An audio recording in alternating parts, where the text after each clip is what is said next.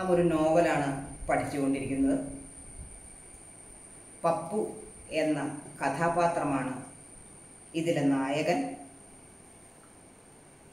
കേശവദേവൻ ഈ കഥാപാത്രത്തെ വഴിയിൽ നിന്ന് കിട്ടിയത് തന്നെയാണ്. ഒരു സംശയം വേണ്ട. ഓടയിൽ നിന്ന് എന്ന ഈ നോവൽ പ്രശസ്തമായ ഈ നോവൽ സിനിമയായിട്ടുണ്ട്. ആ സിനിമയിൽ പപ്പു എന്ന കഥാപാത്രത്തെ അവതരിപ്പിച്ചത് അനശ്വര നടനായ സത്യൻ ആണ്. മലയാള സിനിമയിലെ ഏറ്റവും നല്ല അഭിനേതാവ് എന്നും അറിയപ്പെടുന്ന എന്നും ഏറ്റവും നല്ല നടൻ അനശ്വര നടൻ എന്നറിയപ്പെടുന്ന ചില സ്വാഭാവികമായി ഭാവങ്ങൾ മുഖത്ത് വരുന്ന ഒരു നടനായിരുന്നു സത്യൻ. ആ സത്യനാണ് പപ്പു എന്ന കഥാപാത്രത്തെ ആ സിനിമയിൽ അനശ്വരം. അനശ്വരമാക്കിയത് തന്നെ മിസ് പറയും. കാരണം സത്യൻ എന്ന് പറയുന്ന നടനെ അറിയാത്തവരാരും ഇല്ല. അത്രമാത്രം സ്വാഭാവികമായ അഭിനയസിദ്ധി ഉണ്ടായിരുന്ന ഒരു നടനാണ്. അപ്പം നമ്മൾ കുട്ടികൾ പാഠപുസ്തകം തുറക്കും. പപ്പു എന്ന കഥാപാത്രത്തെക്കുറിച്ച്. അതായത് പപ്പു ഓടയിൽ നിന്ന് എന്ന നോവലിലെ പപ്പു എന്ന കഥാപാത്രത്തെക്കുറിച്ച് കൃത്യമായ ഒരു സൂചന കുട്ടികൾക്ക് കിട്ടിയിട്ടുണ്ട്. കഥാകൃത്ത് തന്നെ ആദ്യം പറയുന്നുണ്ട്. അതായത് പേജ് നമ്പർ പതിനഞ്ചിൽ ഫിഫ്റ്റീൻ പേജ് നമ്പർ ഫിഫ്റ്റീൻ എടുത്ത്. അതിലൊരു ഒരു ചെറിയ ഒരു ഖണ്ഡിക. പെൺകുട്ടി കരച്ചിൽ നിർത്തിയില്ല.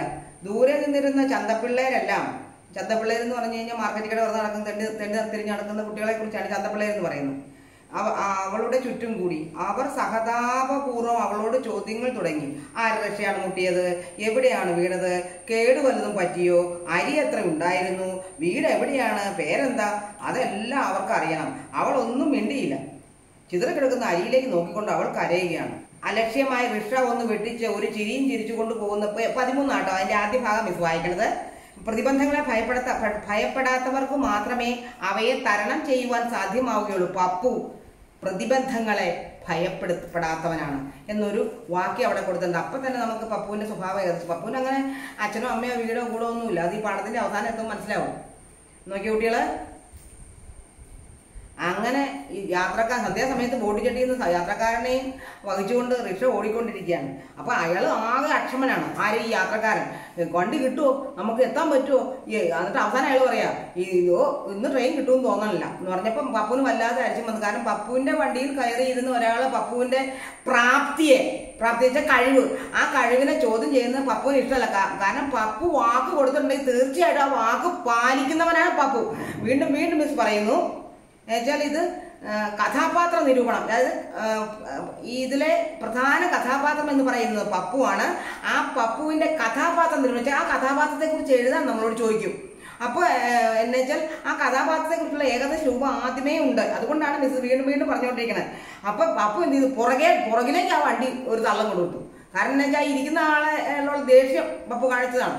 അപ്പൊ എന്നിട്ട് മുമ്പോട്ട് വലിച്ചു. അപ്പൊ എന്ത് പറ്റി? പുറകിലൊരു പെൺകുട്ടി നിൽപ്പുണ്ടായിരുന്നു പപ്പു കണ്ടിട്ടില്ലേ? പപ്പുവിന്റെ വണ്ടി തട്ടി ഇന്ന് വരെ ആർക്കും ഒരു അപകടം ഉണ്ടായില്ല. ആ കുട്ടി റോഡിൽ മലർന്നടിച്ച് വീണു. ആ കുട്ടിയുടെ കുട്ടയിൽ കുറച്ച് അരിയും ഉപ്പും മുളകും എല്ലാം ഉണ്ടായിരുന്നു. ആ കുട്ടി റോഡിൽ കിടക്കുകയാണ്. ഈ ഭാഗത്താണ് നമ്മൾ എത്തിയിട്ടുണ്ടാവുക. നോക്കി കുട്ടികൾ. പേജ് നമ്പർ പതിമൂന്ന്. താഴേക്ക് പോരേട്ടോ യാത്രക്കാരൻ എല്ലാരും കണ്ടു തോന്നുന്നു. പുസ്തകത്തിൽ വരല്ലോ യാത്രക്കാരൻ പിന്നെ ഒന്നും മിണ്ടിയില്ല. പപ്പു കോപത്തോടെ വണ്ടി പിറകോട്ടും തള്ളിയിട്ട് മുമ്പോട്ട് ആഞ്ഞൊരു വലി കൊടുത്തു. വണ്ടിയുടെ പിറകിൽ അയ്യോ എന്നൊരു വിളി. അടുത്തുകൂടി പോയവർ അയ്യോ എന്ന് ഏറ്റു പറഞ്ഞു. വെച്ചാൽ അപകടം പറ്റിയെന്നുള്ളത് ഉറപ്പ്. അതാണ് അടുത്തുകൂടി പോയവരും അയ്യോ എന്ന് പറഞ്ഞത്. അകലെ നിന്നവർ ഓടിയെടുക്കുന്നതും കണ്ടു. അയാൾ വണ്ടിയുടെ കൈ താഴെ വെച്ചിട്ട് പുറകിലേക്ക് ഓടിച്ചെന്നു. എന്താ സംഭവിച്ചെന്ന് അറിയണമല്ലോ. വണ്ടി ഓടിച്ചുകൊണ്ട് പോകണമെങ്കിൽ പുറകിലും സംഭവിച്ചത് അറിഞ്ഞൂടാ. ഒരു പെൺകുട്ടി ഓടയിൽ മലർന്നടിച്ച് കിടക്കുന്നു. അയാൾ പെട്ടെന്ന് കുട്ടിയെ വാരിയെടുത്തു. പെൺകുട്ടി ചുറ്റും പകച്ചു നോക്കി. എന്റെ എന്റെ എന്റെ അരിയെല്ലാം പോയി. അവൾ അയാളുടെ പിടിയിൽ നിന്ന് പിടഞ്ഞിറങ്ങി. അയ്യോ കുട്ടി സാധനം മേടിക്കാൻ ചന്തയിൽ വന്നതാണ്. ആ കുട്ടയിൽ കുറച്ച് ഉപ്പും മുളകും അരിയും ഉണ്ടായിരുന്നു. അതെല്ലാം നിലത്ത് ചെതറി കിടക്കുകയാണ് അവിടെ റോഡിൽ ഒരു ചെറിയ കുട്ട അകലെ തെറിച്ച് കിടക്കുന്നുണ്ട്. അതിനരികിൽ കുറച്ച് അരിയും മൂന്ന് മുളകും കട്ടിച്ച് ഒരു പിടി ഉപ്പും ചിതറി കിടക്കുന്നു. വളരെ കുറച്ചുള്ള അരി മൂന്ന് മുളക്. കുറച്ച് ഉപ്പ് എന്ന് പറഞ്ഞാൽ അത്രയും പണം ഈ കുട്ടിയുടെ കയ്യിലുള്ളൂ. പണം കൊടുക്കാതെ ആരും പലചരക്കടയിൽ നിന്ന് സാധനങ്ങൾ കൊടുക്കൂലല്ലോ. എവിടെ നിന്നും കൊടുക്കൂല. പണം വേണം. ഈ കുട്ടിയുടെ കയ്യിൽ വളരെ കുറച്ച് അതിന്റെ അമ്മ കൊടുത്തുകൊണ്ട് വളരെ കുറച്ച് പണമാണ്. ആ പണം കൊണ്ട് മേടിക്കാൻ പറ്റുന്ന സാധനമാണ് ആ കുട്ടി മേടിച്ചിരിക്കുന്നത്. കുറച്ച് അരി കുറച്ച് ഉപ്പ് ഒരു മൂന്ന് മുളക് അതെല്ലാം റോഡിൽ ചിതറി കിടക്കുകയാണ്. ഇതിന്റെ അവസ്ഥ എന്താണെന്ന് അറിയാമല്ലോ? അവൾ കുട്ടയുടെ അടുക്കലേക്ക് ഓടി. അങ്ങ് ചെല്ലുമ്പോൾ അമ്മ എന്നെ തല്ലുമേ. അവൾ പൊട്ടിക്കരഞ്ഞുകൊണ്ട് അരി തൂത്തുവാരാൻ തുടങ്ങി. കാരണം ഈ അരിയും കൊണ്ട് എന്നിട്ട് വേണം? നോക്കി കുട്ടികളെ. പേജ് മറിച്ചേ. പേജ് നമ്പർ ഫോർട്ടീൻ പപ്പു സ്തബ്ധനായി. കണ്ട വാക്ക് കണ്ടോ? പപ്പു സ്തബ്ധനായി. തരിച്ചു നിൽക്കുക എന്ന് പറയും. തരിച്ചു നിൽക്കുക.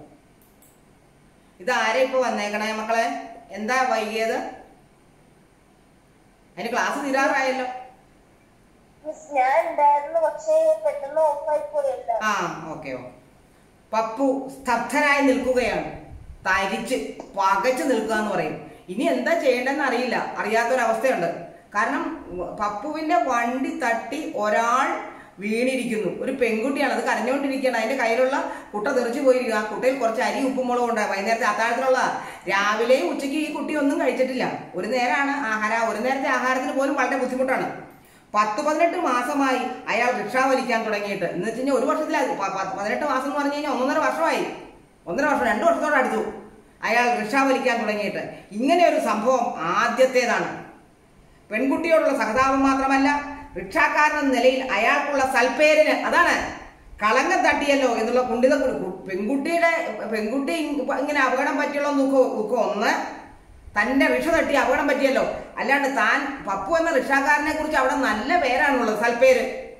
ചില പപ്പുവിന് പപ്പുവിന് ഒരിക്കലും അപകടങ്ങൾ പിണയുകയില്ല അബദ്ധങ്ങൾ സംഭവിക്കില്ല ആരും ഉപദ്രവിക്കില്ല സത്യസന്ധനായ ജോലിയോട് ആത്മാർത്ഥതയുള്ള റിക്ഷാക്കാരനാണ് പപ്പു. അപ്പോൾ ഇങ്ങനെ ഒരു സംഭവം നടന്നു കഴിഞ്ഞാൽ ഇനി പപ്പുവിന്റെ റിക്ഷയിൽ ആരെങ്കിലും കയറുമോ അതോർത്ത് പപ്പുവിന് വല്ലാതെ ദുഃഖമുണ്ട്. വണ്ടി ഇപ്പോൾ പോകും. അതെ. യാത്രക്കാരൻ ട്രെയിനിൽ പോകാൻ നിൽക്കുന്ന ആളാണ്. യാത്രക്കാരൻ വിളിച്ചു പറഞ്ഞു പപ്പു ഞെട്ടി ഉണർന്നു. അവിടെ തരിച്ചു നിന്നാൽ പറ്റില്ല അവിടെ പകച്ചു നിന്നാൽ പറ്റില്ല. യാത്രക്കാരനെ സ്റ്റേഷനിൽ എത്തിക്കണം. കുട്ടിയെ സമാധാനിപ്പിക്കുകയും വേണം. രണ്ട് കാര്യം ചെയ്യണം. അയാൾ വിഷമിച്ചു. അയാൾ കുട്ടിയെ പിടിച്ച് എഴുന്നേൽപ്പിച്ചു. അരി പോയതങ്ങ് പോട്ടെ. കുഞ്ഞു കരയാതെ ഞാൻ മേടിച്ചു തരാം അരി. മോൾ വിഷമിക്കണ്ട കേട്ടോ. പോയതൊക്കെ മേടിച്ചു തരാം എന്ന് പറഞ്ഞു. അത്താഴത്തിനുള്ളതാ അമ്മ എന്നെ തല്ലും. കുഞ്ഞിനെ തല്ലത്തില്ല. അരി ഉപ്പും മുളകും എല്ലാം ഞാൻ മേടിച്ചു തരാം. കുഞ്ഞ് അങ്ങോട്ട് മാറി നിൽക്ക്. ഞാൻ ഇപ്പൊ വന്നേക്കാം. ആ, പേടിക്കേണ്ട മോൾ പേടിക്കണ്ട അവിടെ മാറി നിൽക്ക്. ഇപ്പൊ ഞാൻ ഇയാളെ കൊണ്ടുവന്ന് റെയിൽവേ സ്റ്റേഷൻ ആക്കിയിട്ട് വരട്ടെ. എന്നിട്ട് എല്ലാം വാങ്ങിച്ചു തരാം. അയാൾ അവളെ റോഡിന്റെ അരികിലേക്ക് മാറ്റി നിർത്തിയിട്ട് വണ്ടിയും എടുത്തുകൊണ്ട് ഓട്ടം തുടങ്ങി. കാരണം യാത്രക്കാരനെ റെയിൽവേ സ്റ്റേഷനിൽ കൊണ്ടുവന്നാക്കണ്ടേ വണ്ടി വന്ന് നിന്ന് കഴിഞ്ഞു. പെൺകുട്ടി കരച്ചിൽ നിർത്തിയില്ല. കുട്ടികൾ കാണുന്നുണ്ടെന്ന് കരുതുന്നു. പേജ് നമ്പർ പതിനഞ്ച്. ഇപ്പോഴാണ് പേജ് നമ്പർ പതിനഞ്ച് നിർത്തിയേക്കണം അതെ കുട്ടി മാറി മോളെ മാറി നിന്നു. ഇപ്പോൾ തന്നെ തിരിച്ചു വന്നു കാരണം യാത്രക്കാരനെ കൊണ്ടുവന്ന് എത്തിക്കണ്ടേ? പേജ് നമ്പർ പതിനഞ്ച്. പെൺകുട്ടി കരച്ചത് നിർത്തിയില്ല. ദൂരെ നിന്ന് ചന്തപ്പിള്ളേരെല്ലാം അവളുടെ ചുറ്റും കൂടി. ഒരു അപകടം നടന്നു കഴിഞ്ഞാൽ അങ്ങനെ സ്വാഭാവികമായിട്ടും ആൾക്കാരെല്ലാം പണ്ടത്തെ കാലമാണ്. എല്ലാവരും അടുത്ത് കൂടും എന്തെങ്കിലും സഹായം ചെയ്യാൻ പറ്റുമോ? ആശുപത്രി കൊണ്ടുപോകണമെന്നൊക്കെ നോക്കും. ഇന്നത്തെ പോലെയല്ല. ഇന്നിപ്പോൾ ഒരാൾക്ക് അപകടം പറ്റി റോഡിൽ ചോര വാർന്ന് വീണ് കിടന്നാൽ കയ്യിൽ മൊബൈൽ ഉണ്ടെങ്കിൽ ഫോട്ടോ എടുക്കും ഫേസ്ബുക്കിൽ ഇടാനായിട്ട്. ലൈക്ക് ലൈക്ക് കിട്ടണ്ടേ? അല്ലാണ്ട് ആ വീണ് കിടക്കുന്ന ആളെ ആശുപത്രിയിൽ എത്തിക്കാൻ ആരും ശ്രമിക്കാറില്ല. അത്രയും മാത്രം മലയാളി പുരോഗമിച്ചിരിക്കുന്നു. പണ്ട് അങ്ങനെയല്ല. ഞങ്ങളുടെയൊക്കെ ചെറുപ്പകാലത്ത് എന്ന് വെച്ചാൽ ആർക്കെങ്കിലും വീടിനടുത്തുള്ള വീട്ടിലോ അല്ലെങ്കിൽ അതിന് അയൽവ അയൽപക്കത്തുള്ള ആളുകൾക്ക് എന്തെങ്കിലും സംഭവിച്ചാൽ ഞങ്ങളെല്ലാം ഓടിച്ചെല്ലും. കാരണം അങ്ങനെ സാമൂഹ്യ ബന്ധങ്ങൾ ഊഷ്മളമായിരുന്നു. അതായത് മനുഷ്യർ തമ്മിൽ മനുഷ്യൻ മനുഷ്യനെ തിരിച്ചറിയുകയും മനുഷ്യർ തമ്മിൽ സ്നേഹിക്കുകയും ചെയ്യുന്ന ഒരു കാലഘട്ടത്തിലാണ് എന്റെയൊക്കെ ചെറുപ്പം എന്ന് പറയുന്നത്.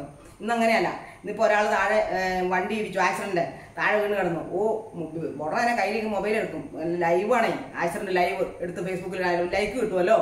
അങ്ങനത്തെ കാലത്തെക്കുറിച്ചല്ല ഈ പറയുന്നത്. എല്ലാവരും കൂടി. ചന്തപ്പിള്ളേരാ.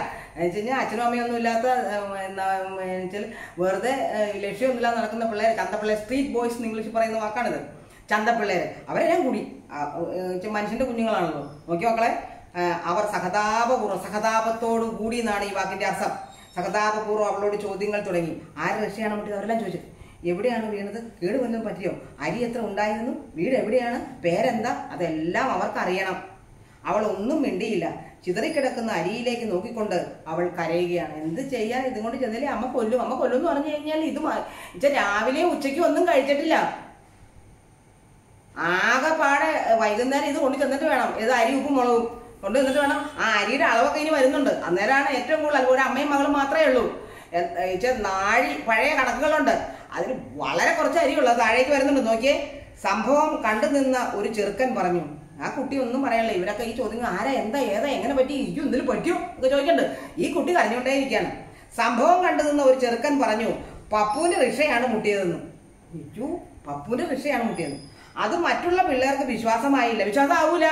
കാരണം പപ്പു അങ്ങനെയുള്ള ആളല്ല. എന്തു വലിയ തിരക്കിനിടയിലൂടെയും വളരെ സുഷമായി ഒരു കുറ്റവും വരാതെ ആർക്കും ഒരു അപകടവും വരാതെ വണ്ടി വളച്ചെടുത്ത് കൊണ്ടുപോകുന്ന ആളാണ് പപ്പു.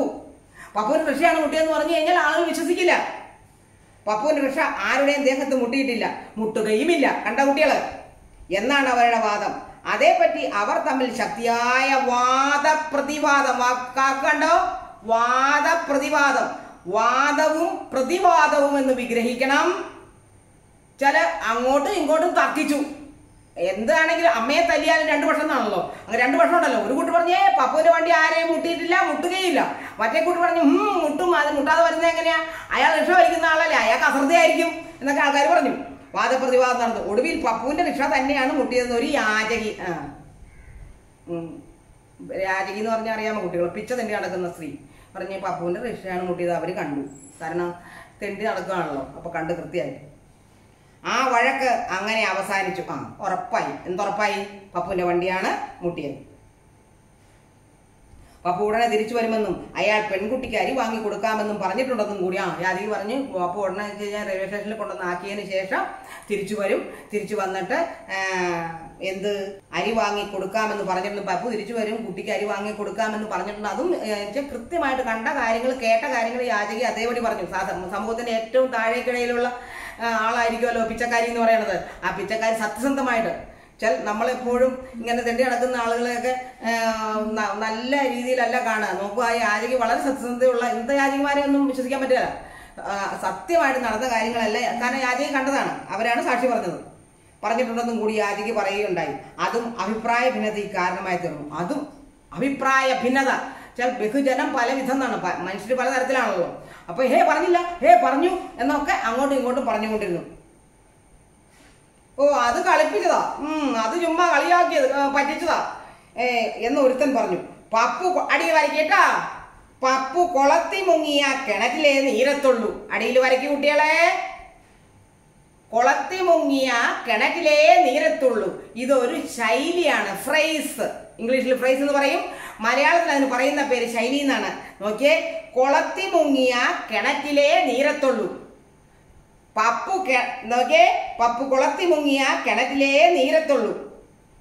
കുളത്തി മുങ്ങിയ കിണറ്റിൽ നിവരുക നീരത്തുള്ളൂ എന്ന് പറഞ്ഞാൽ നിവരുക എന്നാണ് അർത്ഥം. കുളത്തി മുങ്ങിയ കിണറ്റിൽ നിവരുക എന്ന് പറഞ്ഞു കഴിഞ്ഞാൽ പപ്പുവിനെ ഇനി കാണാൻ കിട്ടൂല എന്നർത്ഥം. നമ്മുടെ നാട്ടിൽ പഴമക്കാരൊക്കെ പറയും എന്താണ്? വടി വടി വെക്കുന്നിടത്ത് കുട വെക്കുകയല്ല. കുട വെക്കുന്നിടത്ത് വടി വെക്കുകയല്ല. കുടയും വടിയും വെക്കുന്നിടത്ത് ആളെ കാണൂലെന്ന്. എന്ന് പറഞ്ഞാൽ പറഞ്ഞ വാക്കിന് യാതൊരു വിലയും കൽപ്പിക്കാതെ നടക്കുന്ന ആൾക്കാരെ കുറിച്ച് പറയുന്നതാണത്. നമുക്കത് വിശ്വസിക്കാൻ പറ്റില്ല. ആ അപ്പൊ ഒരാൾ പറഞ്ഞു എന്ത് പറഞ്ഞു? പപ്പു കുളത്തി മുങ്ങിയ കിണറ്റിലേ നീരത്തുള്ളൂ. ആ ഇനി പപ്പുവിനെ കാണാമെന്ന് ആരും വിചാരിക്കണ്ട എന്നൊരാൾ പറഞ്ഞു. അത് മറ്റൊരുവന്റെ അഭിപ്രായമാണ്. കണ്ടം? കുളത്തി മുങ്ങിയ കിണറ്റിലെ നീരത്തുള്ളൂ നീരത്തുള്ളു നാട്ടുഭാഷയാണ് കുട്ടികളെ. മലയാളം എന്ന ഭാഷയാണ് നമ്മൾ പഠിച്ചുകൊണ്ടിരിക്കുന്നത്. പക്ഷെ നിങ്ങൾ പരീക്ഷയ്ക്ക് എഴുതുന്ന പോലെ ഉള്ള ഭാഷയിലല്ല സംസാര ഭാഷ. അതിന് പ്രാദേശിക ഭാഷ എന്ന് പറയും. കൊളോക്കിയൽ ലാംഗ്വേജ് എന്നാണ് അതിന്റെ ഇംഗ്ലീഷ്. പ്രാദേശിക ഭാഷ. നമുക്കുമുണ്ട് നമ്മുടെ നാടിനുമുണ്ട് ഈ ഭാഷയ്ക്കൊക്കെ പ്രത്യേകതകൾ ഇപ്പൊ തൃശ്ശൂർ താമസിക്കുന്ന ആളുകളുടെ ഭാഷയിലല്ല എറണാകുളംകാർ സംസാരിക്കുക എറണാകുളത്തുകാരുടെ ഭാഷയിലല്ല തിരുവനന്തപുരംകാർ സംസാരിക്കുക